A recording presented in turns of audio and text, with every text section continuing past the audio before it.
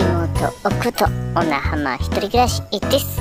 さて今日発表していくのはいわき市のキャンプ場トップ3です。ひょいゴーさて今日もいわき市にやってまいりました。ナンバー3ナンバー3はこちらのキャンプ場です。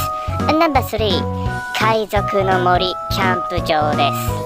えー、こんなところにキャンプ場できたんだ。すごい絶景のポジションだね。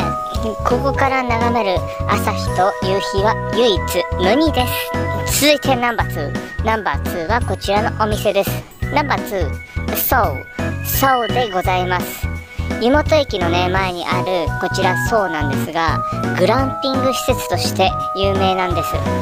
こんなおしゃれなところでバーベキューでもしたら美味しくないものなんてないよね。そして栄えあるナンバーワンナンバーワンはこちらで決まりです。ナンバーワン夏井川渓谷キャンプ場。夏井川渓谷キャンプ場でございます。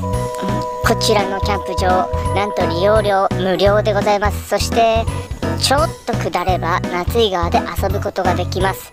夏井川にはニジマスがいっぱい泳いでますよ。はい。今日発表したのはいわき市のキャンプ場トップ3でした。また見てね。バイバイ。